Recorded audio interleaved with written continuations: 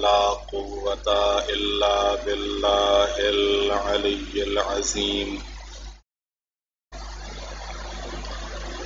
أعوذ بالله من الشيطان اللعين الرجيم.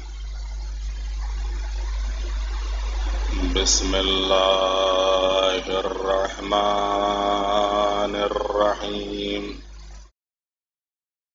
الحمد لله رب العالمين الصلاة والسلام على رسوله الكريم سيدنا ونبينا وشفيع المذنبين أبي القاسم محمد.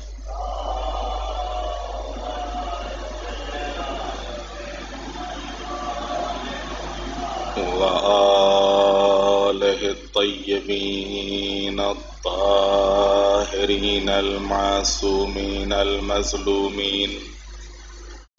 ولعنة الله على أعدائهم أجمعين. من يومنا هذا إلى قيام يوم الدين. رب اشرح لي صدري ويسر لي أمري. واحلل عقدة من لساني يفقه قولي. أما بعد فقد قال الله الحكيم في القرآن الكريم. بسم الله الرحمن الرحيم. قد صدقت الرؤيا. صلوات بيت محمد وآل محمد.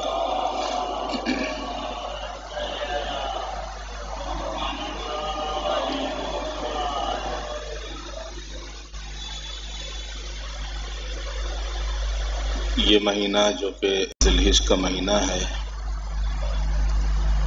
اور اس ذلحج کے مہینے کا یہ جو پہلا اشرا ہے جو ابھی تمام ہوا، یہ مخصوص ہے حج سے اور قربانی سے۔ قربانی جیسا کہ نماز عید کے خطبے میں بھی آپ کی خدمت میں عرض کیا تھا کہ تمام آسمانی ادیان میں قربانی کا تصور پایا جاتا ہے۔ چاہے وہ یہودی ہوں یا عیسائی ہوں، یہاں تک کہ بودھ اور ہندو دھرم میں بھی یہ تصور پایا جاتا ہے کہ جس تصور کو قربانی بولتے ہیں۔ ہاں قربانی کا انداز الگ الگ ہے، قربانی کا طریقہ الگ الگ ہے، ورنہ قربانی ہر مذہب میں ہے۔ یہ جو اسلام میں قربانی ہے، یہ یادگار ہے۔ اس قربانی کی کہ جو جناب ابراہیم اور اسماعیل نے منا کے میدان میں پیش کی تھی۔ اور یہ قربانی کیا تھی؟ جناب ابراہیم جب فلسطین سے مکے آئے ہیں، تو مکہ اس وقت غیر آباد جگہ تھی۔ یہاں پر کچھ بھی نہیں تھا۔ بس پہاڑیاں تھیں اور دور دور تک نہ کوئی آبادی تھی اور نہ کوئی سبزہ تھا۔ اور جناب ابراہیم نے جناب حاجرہ اور جناب اسماعیل کو اسی جگہ کے اوپر اتارا اور کچھ روٹیاں اور تھوڑا سا پانی ساتھ میں کر کے جناب ابراہیم پھر واپس جانے لگے فلسطین۔ جناب سارا کے پاس۔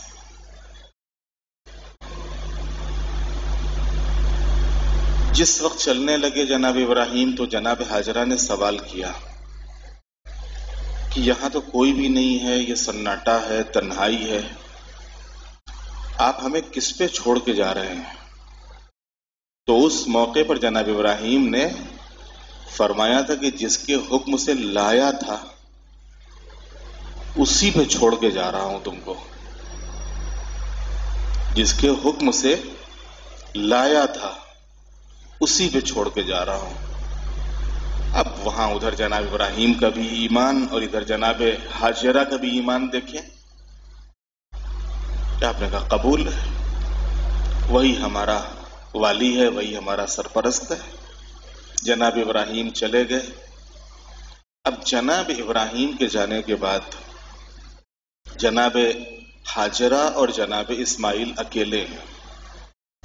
ظاہر سی بات ہے کہ یہ روٹیاں کب تک چلتی ہیں اور یہ پانی کب تک چلتا۔ ایک وقت آیا کہ جب یہ کھانا ختم ہو گیا، پانی تمام ہو گیا۔ اب جب تک اپنی بھوک رہی جناب حاجرہ نے برداشت کیا۔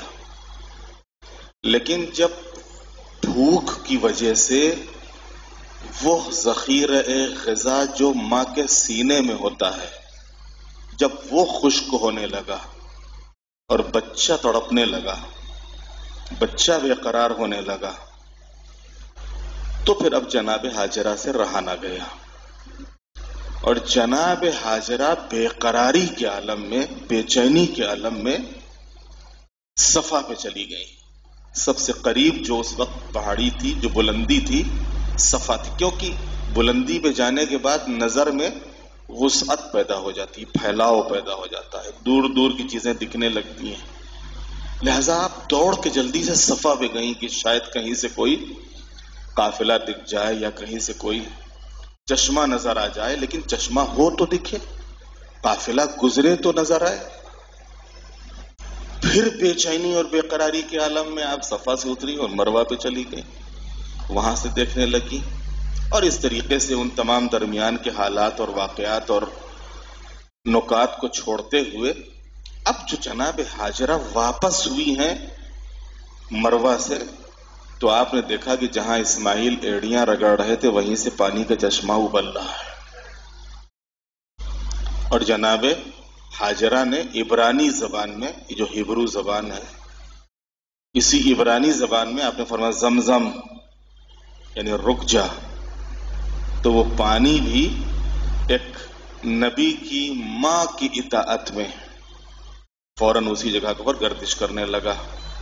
اور اس وقت سے لے کے اور آج تک اس زمزم سے لوگ سیراب ہو رہے ہیں۔ اب جب پانی کسی بھی جگہ کے اوپر اگر پانی ہے تو پھر زندگی آسان ہے پانی نہیں ہے تو زندگی بہت مشکل ہے۔ آج دنیا منگل کے اوپر پانی تلاش کر رہی ہے چاند کے اوپر پانی ڈھونڈ رہی ہے کہ پانی مل جائے تاکہ یہ لوگوں کو ٹھک سکیں۔ اور لوگوں کو یہاں ان کے نام کا جو ہے وہ بینامہ کر سکیں وہاں کے لیے کہ ہم چاند کے اوپر تمہارا بینامہ کیے دیتے ہیں اور تمہاری رجسٹری چاند کے اوپر ہوگی۔ اتنا بیگھا تمہارا، اتنا فٹ تمہارا، اتنا میٹر تمہارا۔ تو چاند کے اوپر پانی ڈھونڈ رہے ہیں، منگل کے اوپر پانی ڈھونڈ رہے ہیں۔ تو پانی زندگی کا ایک طریقہ ہے بہرحال۔ اگر پانی ہے تو زندگی ہے، اگر پانی نہیں تو زندگی نہیں۔ جب پانی آ گیا تو پھر سب کچھ۔ اب جب پانی آیا تو یہ جو پرندے ہوتے ہیں تائر ہوتے ہیں، یہ پانی دیکھ کے وہاں کے اوپر آتے ہیں۔ اب جب پانی تھا تو وہاں پر پرندے آنے لگے پکشی آنے لگے وہاں کے اوپر۔ اور ابھی قریب سے ایک راستہ جاتا تھا، وہاں سے تھوڑا سا ہٹ کے۔ ایک راستے سے قافلہ جا رہا تھا۔ اب اس کو پیاس لگی۔ اب جب پیاس لگی تو انہوں نے کہا، اب کیا کریں؟ پانی تو ہے نہیں کہیں۔ تو انہوں نے کہا کہ وہ دیکھو، بہت دور کے اوپر وہ پرندے جو ہیں، وہ منڈلا رہے ہیں، چکر کھا رہے ہیں۔ یہ ضرور یہاں کے اوپر پانی ہے۔ یہ سب علامتیں ہوتی تھی پہلے زمانے میں، سب پہچاننے کی۔ تو کہا، وہ دیکھو، بہت دور کے اوپر وہ وہ جو پرندے ہیں تائر ہیں، یہ چکر لگا رہے ہیں، ضرور یہاں کے اوپر پانی ہے۔ تبھی یہاں کے اوپر یہ پرندے اس طریقے سے اڑ رہے ہیں اور اٹھ رہے ہیں اور وہاں کے اوپر بیٹھ رہے ہیں۔ قافلے، اس طرف آیا، دیکھا تو تعجب کی انتہا نہیں رہی۔ کہ ایک ماں اور اس کا بیٹا اور اکیلے۔ انہوں نے اجازت چاہی کہ کیا آپ کی اجازت ہے کہ اس میں سے کچھ پانی لے لو؟ کیا بسم اللہ؟ پانی اللہ کی عظیم نعمت ہے۔ سب کے لیے۔ جناب ابراہیم کتنے مہمان نواز تھے، انہی کی زوجہ ہے انہی کا بیٹا ہے۔ لے جائیے، پیجیے۔ انہوں نے پانی پیا اور جب دیکھا کہ چشمہ ہے، بہترین جگہ ہے، تو کہا کہ یہیں آباد ہم کیوں نہ ہو جائیں۔ قافلہ وہاں پہ آباد ہو گیا اور دھیرے دھیرے مکہ آباد ہونے لگا۔ اب جو جناب ابراہیم کچھ دنوں کے بعد واپس آئے تو جناب اسماعیل چلنے پھرنے کے لائق ہو چکے تھے۔ یہاں تک کہ جناب اسماعیل نوجوانی کی سن میں نوجوانی کی عمر میں پہنچ گئے۔ اب بعض روایتوں میں نو سال کا سن لکھا ہوا ہے، بعض روایتوں میں تیرہ سال کا سن لکھا ہوا ہے۔ بعض تفسیروں میں بہرحال ایک نوجوانی کا سن تھا تیرہ سال یا چودہ سال۔ یہ بارہ سے تیرہ، چودہ سال کے سن میں جب جناب اسماعیل تھے اس موقع کے اوپر جناب ابراہیم خواب دیکھتے ہیں۔ خواب کیا دیکھا؟ کہ وہ اسماعیل کو ذبح کر رہے ہیں۔ دیکھیں، نبی یہ خدا کو جو پیغام پہنچتا ہے، جو اللہ کی طرف سے پیغام نبی خدا کو پہنچتا ہے، اس کے کئی طریقے ہوتے ہیں۔ ایک تو ہوتا ہے کہ ڈائریکٹ وہی آتی ہے۔ ڈائریکٹ وہی کا مطلب یہ ہوتا ہے کہ مثلا خود فرشتہ حکم لے کر آتا ہے۔ کہ اللہ کی طرف سے میں آپ کی خدمت میں بھیجا گیا ہوں اور دیکھیے یہ اللہ کی طرف سے آپ کے لیے حکم ہے، یہ پیغام آپ پہنچا دیجیے یا اس عمل کو آپ انجام دیجیے۔ ایک تو یہ طریقہ ہوتا ہے، ایک خود فرشتہ نہیں ہوتا ہے، قلب بے پیغمبر کے اوپر وہی آتی ہے۔ اور پیغمبر خود ایک بوجھ، ایک وزن محسوس کرتے ہیں اس موقع پر جب وہی نازل ہوتی ہے۔ اور وہ پیغام کہ جو اللہ کی طرف سے نازل ہوتا ہے، یا تو ان کو وہ سنائی دیتا ہے۔ ایک خیبی آواز ہوتی ہے کہ جو ان کے کانوں میں آتی ہے اور کہ یہ پیغام، یہ تم جا کے پیغام پہنچا دو۔ جس طریقے سے جناب موسا کوہ تور کے اوپر تھے اور آواز آئی وہاں کے اوپر اس حویلا فرعون ان تغا۔ جاؤ فرعون کی طرف۔ تو ایک آواز آتی اس آواز کے ذریعے سے نبی خدا سمجھتا ہے کہ ہاں یہ اللہ کی طرف سے حکم ہے۔ ایک طریقہ ہوتا ہے الہام کا، جو قلب کے اوپر ایک کیفیت تاری ہوتی ہے اور اس کے ذریعے سے نبی خدا سمجھ جاتا ہے کہ اللہ کی طرف سے حکم ہے اور اس کو ہم کو انجام دینا ہے۔ اور ایک کیفیت ہوتی ہے خواب کی۔ ہمارے اور آپ کے خواب کا کوئی اعتبار نہیں ہے۔ ہمارے اور آپ کے خواب کا کوئی اعتبار نہیں ہے۔ لیکن معصوم جو خواب دیکھیں یا معصوم کو کوئی خواب دیکھے، توجہ کیجیے گا۔ معصوم کو اگر کسی نے خواب میں دیکھا یا معصوم خود کوئی خواب دیکھیں تو معصوم کی صورت میں شیطان نہیں آتا۔ اگر معصوم کو دیکھا ہے کسی نے تو وہ معصوم ہی ہیں۔ ان کی صورت میں کوئی غیر نہیں آ سکتا ہے۔ یا معصوم خود کوئی خواب دیکھے تو وہ خواب سچا ہوتا ہے۔ اب یہاں کے اوپر جناب ابراہیم خواب دیکھ رہے ہیں۔ اب جناب ابراہیم نے خواب دیکھا کہ ابراہیم اسماعیل کو سبھا کر رہے ہیں۔ اور آپ نے اس کو الہی حکم سمجھا اور مانا اور تھا یہ حکم۔ ابراہیم اگر اس امامت کے مرتبے تک پہنچنا ہے، تو امامت کے عہدے تک پہنچنے کے لیے تم کو یہ امتحان دینا پڑے گا۔ تم کو نبوت مل گئی، رسالت مل گئی، لیکن اب اگر امامت چاہتے ہو تو امامت تک پہنچنے کے لیے یہ امتحان دینا پڑے گا تم کو، اس امتحان سے گزرنا پڑے گا۔ یہ امتحان کیا تھا؟ بیٹے کو اپنے ہاتھ سے ذبح کرنا، بیٹے کے گلے پہ چھری چلانا۔ سخت امتحان جناب ابراہیم کے لیے بھی تھا اور بڑا سخت امتحان خود جناب اسماعیل کے لیے بھی تھا۔ لیکن کیا کہنا ان دونوں نبیوں کا؟ کیا کہنا ان باپ اور بیٹوں کا؟ خواب کے ذریعے سے حکم ملا تھا، کوئی عام بیٹا ہوتا، بے معرفت بیٹا ہوتا، کہتا، بابا، آپ زیادہ عمر کو پہنچ گئے ہیں، ضعیف ہو گئے ہیں، کچھ لگتا ہے دماغ وماغ آپ کا کام نہیں کر رہا ہے۔ تو خواب تو سب دیکھا ہی کرتے ہیں، ایسے کہ خواب دیکھ لیا ہوگا، کہیں اس کو سچا مانا جاتا ہے، کہیں الہی حکم ہوتا ہے۔ لیکن یہ جناب اسماعیل تھے، جناب ابراہیم جس وقت خواب سے بیدار ہوئے ہیں، جناب اسماعیل کو قریب بلایا، ماں سے الگ، تاکہ ماں سننے نہ پائے۔ ماں ماں ہے، نہیں معلوم اس کے اوپر کیا کیفیت تاری ہو۔ لہذا الگ بلایا اور الگ بلانے کے بعد کہا، جناب ابراہیم، جناب اسماعیل سے مخاطب ہوئے۔ بیٹا، میں نے یہ خواب دیکھا ہے۔ تم کیا کہتے ہو؟ اب آپ جناب اسماعیل کا جو جواب ہے، جناب اسماعیل کہتے کہ بابا، آپ کو جو بھی حکم ملا ہے اللہ کی طرف سے، آپ انجام دیجیے۔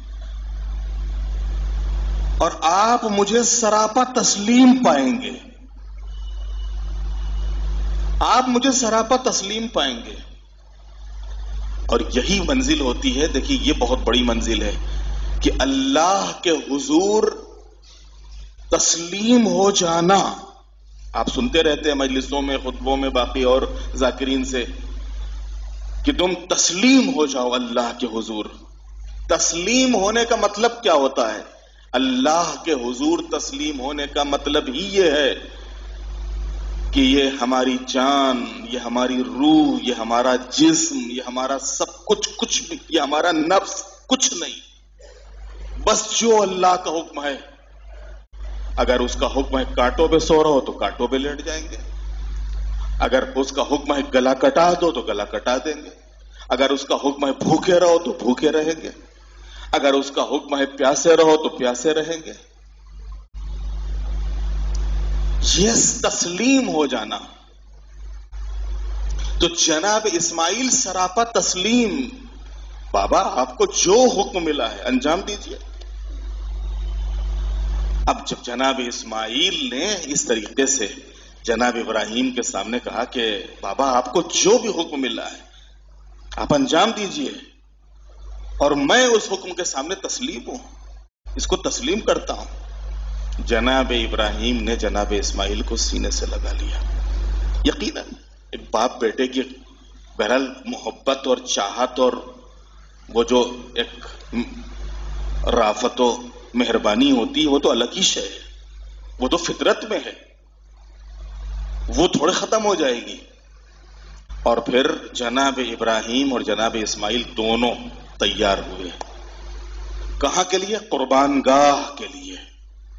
گھر میں تو ممکن نہیں ہے، اس لیے کہ ماں موجود ہے، پڑوسی موجود ہیں۔ پتہ نہیں کیا ہنگامہ ہو جائے، پتہ نہیں ہو سکتا ہے کہ ماں کے اوپر کیا کیفیت تاری ہو جائے۔ پڑوسی کیا کہیں اور گھر والے کیا کہیں اور ماں کی کیا حالت ہو؟ لہذا تیار ہو گئے کہاں کے لیے؟ قربان گاہ قربان گاہ کہاں؟ مینا۔ مکے سے اتنی دور چلے جاؤ کہ وہاں کے اوپر کوئی اس حکم میں آڑے نہ آئے۔ اتنی دور چلے جاؤ کہ اس حکم کے انجام دینے میں کوئی آڑے نہ آئے۔ کوئی دکھ گیا، کوئی دیکھ لیا، کوئی کچھ آ گیا، کسی نے روک دیا، کسی نے ٹوک دیا، نہیں، کوئی نہیں، اتنی دور چلے جاؤ۔ اس حکم میں کوئی آڑے نہ آنے پائے۔ بس میں اور میرا بیٹا اور یہ حکم جو اللہ کی طرف سے ملا ہے اس کو انجام دینا ہے اور اس کو پورا کرنا ہے۔ کہتے ہیں کہ جناب ابراہیم، جناب اسماعیل کو لے کے پہنچے۔ اب جس وقت میات گاہ پہنچے ہیں یعنی اسی قربان گاہ جہاں کا وعدہ تھا۔ جناب ابراہیم نے کچھ وسیعتیں جناب اسماعیل سے کی ہیں۔ اور بعض روایتوں میں کچھ وسیعتیں جناب اسماعیل نے جناب ابراہیم سے کی ہیں۔ اور ان وسیعتوں میں سے ایک وسیعت ہی جناب ابراہیم، خود جناب اسماعیل، جناب ابراہیم سے کہہ رہے ہیں، بابا، ذرا چھری تیز کر لیجیے، تاکہ چلانے میں دقت نہ ہو آپ کو، اور دیر نہ ہو حکم الہی کے انجام دینے میں۔ اور بابا، میرے ہاتھوں اور پیروں کو باندھ دیجیے اس لیے کہ آپ باپ ہیں۔ بہرحال اگر چھری چلے گی تو میں تڑپوں گا، بے قرار ہوں گا، شاید آپ سے نہ دیکھا جا سکے۔ آپ اپنی آنکھوں پر پٹی باندھ لیجیے، تاکہ ذبح کرتے وقت دیکھیں نہ کہیں ایسا نہ ہو کہ اس حکم کے انجام دینے میں کہیں سے کچھ تاخیر ہو جائے، کچھ دیر ہو جائے کوئی رکاوٹ آ جائے، جب سامنے بیٹے کو اپنے ہاتھوں سے ذبح کرتے ہوئے دیکھیں آپ۔ لہذا اپنی آنکھوں پر پٹی باندھ لیجیے۔ میرے ہاتھوں پیروں کو باندھ دیجیے۔ اور میرا پیراہن یہ میرا لباس، یہ اتار دیجیے۔ اور یہ لباس میری ماں کو دے دیجیے گا۔ میری ماں کو دے دیجیے گا یہ لباس لے جا کے۔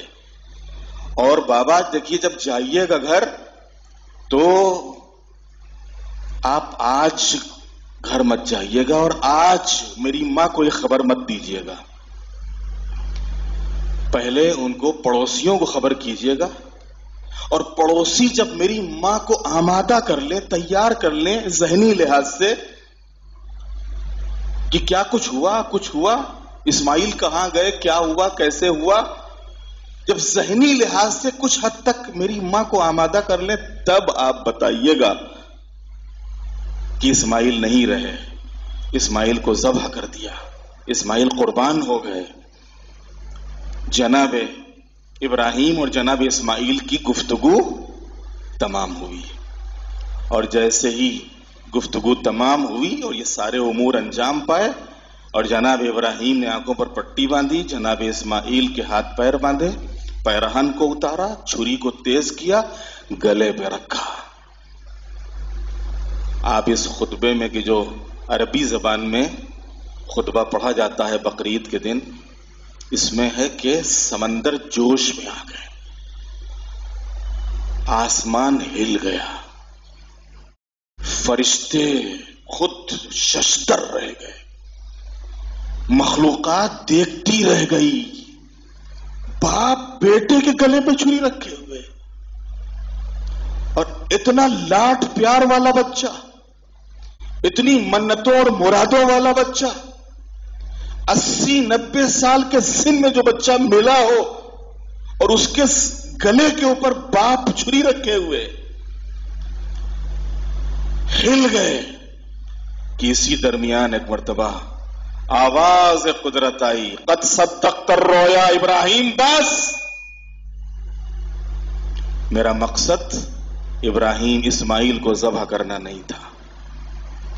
میرا مقصد ابراہیم اسماعیل کو ذبح کرنا نہیں تھا۔ تم نے اپنا خواب سچا کر دکھایا۔ تم نے اپنا خواب سچا کر دکھایا۔ اور جیسے ہی پٹی ہٹائی تو کیا دیکھا کہ جہاں کے اوپر اسماعیل کو لٹایا تھا، وہاں کے اوپر دمبا جناب جبرائیل لے کے حاضر ہے۔ ابراہیم، اس پہ چھری چلاؤ۔ تم کو اللہ کو آزمانا تھا، اس نے آزما لیا۔ تم کامیاب ہو گئے۔ عزیزان محترم، وقت پورا ہو چکا۔ واقعہ بھی پورا نہیں ہوا۔ عزیزان محترم، جناب ابراہیم کی خدمت میں اتنا عرض کرنے کا دل چاہتا ہے کہ یقیناً آپ نے بیٹے کی قربانی پیش کی، چھری گلے پہ رکھی۔ لیکن چھری رکھتے وقت بھی آپ نے بیٹے کے ہاتھ پیر باندھ دیے تھے۔ اپنی آنکھوں پر پٹی باندھ لی تھی۔ لباس کو اتار دیا تھا۔ چھری آپ خود چلا رہے تھے۔ ظاہر سی بات ہے کہ باپ جب بیٹے کے گلے پہ چھری رکھے گا تو آسانی ہی سے رکھے گا۔ لیکن آؤ ذرا کربلا کے میدان میں۔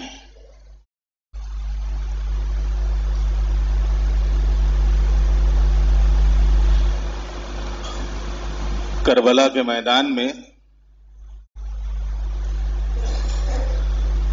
ایک باپ اور ایک بیٹا۔ بڑی سخت منزل تھی عزیزو۔ یقیناً جناب ابراہیم اس امتحان سے کو سر کر لے گئے۔ لیکن جناب ابراہیم کی خدمت میں اتنا عرض کرنے کا دل چاہتا ہے کہ جس وقت خنجر چلایا ہے تو آپ کی آنکھوں پہ پٹی تھی۔ کربلا میں حسین جب بیٹے کے سینے سے برچھی کا پھل کھینچ رہے تھے تو آنکھوں پہ پٹی نہیں تھی۔ سامنے جوان بیٹا سینے پہ برچھی کھائے ہوئے تڑپ رہا تھا۔ اور بوڑھا باپ اس نیزے کے اوپر ہاتھ رکھے ہوئے، اس ٹوٹے ہوئے انی کے اوپر ہاتھ رکھے ہوئے، اسے کھینچ رہا تھا۔ ابراہیم، تمہارا بیٹا تو بچ گیا۔ لیکن حسین کا بیٹا کربلا میں نہ بچ سکا۔ کہتے ہیں کہ ایک مرتبہ جیسے امام نے اس انی کو کھینچا ہے، نجف کا رخ کر کے آواز دی، یا علی۔ اور یا علی کہہ کے جو کھینچا، تو نیزے کی انی تو نکل آئی، لیکن علی اکبر کا دم نکل گیا۔ ازادارو بوڑھا باپ جوان کی میت، اٹھائے تو کیسے اٹھائے؟ صبح سے لے کے زہر تک صبح سے لے کے عصر تک جتنے بھی افراد گئے ہیں، جو بھی میدان میں شہید ہوا ہے، حسین بذات خود تشریف لے گئے ہیں۔ اپنے ہاتھوں سے جنازہ اٹھایا ہے، لیکن جب جوان بیٹے کی میت کو اٹھانے کی باری آئی ہے، تو روایتوں میں کبھی جنازہ اٹھاتے تھے۔ کبھی پھر رکھ دیتے تھے، کبھی پھر میت اٹھاتے تھے، پھر رکھ دیتے تھے۔ اور جب جوان بیٹے کا لاشا نہ اٹھا تو ایک مرتبہ خیمے کا رخ کر کے آواز دی، اے بنی ہاشم کے بچوں آؤ۔ بوڑھے باپ سے جوان کی میت نہیں اٹھتی۔ آؤ ذرا بوڑھے باپ کو سہارا دے دو۔ علی اکبر کا لاشا خیمے تک پہنچا۔